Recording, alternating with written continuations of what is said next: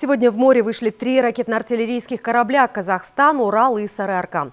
Они направляются в российскую акваторию Каспия для участия в первом международном морском биатлоне «Каспийское море-2015». В конкурсе военно-морских сил примут участие не только корабли, но и морские пехотинцы прикаспийских стран. Моя коллега Тамара Степанова наблюдала, как оттачивают морскую выучку. Рабочий приготовить принять пострадавших. До отхода в море несколько часов, а тренировки не прекращаются. Один из эпизодов морского биатлона «Спасение утопающего» отрабатывается посекундно.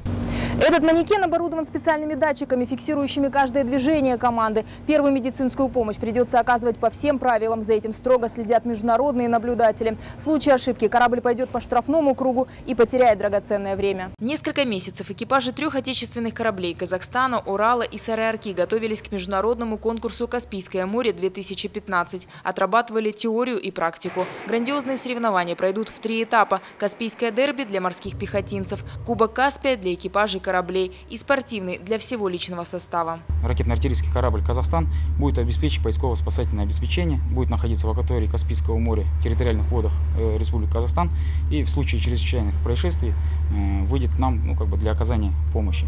Боевое судно водоизмещением в 250 тонн детище Уральского завода «Зенит». Мореходные качества корабля обеспечивают безопасность хода до 5 баллов, а современное вооружение и радиотехнические средства просчитывают условного противника на несколько шагов вперед. Цель надводная, плавающая мина. Дистанция 3 кабельтова.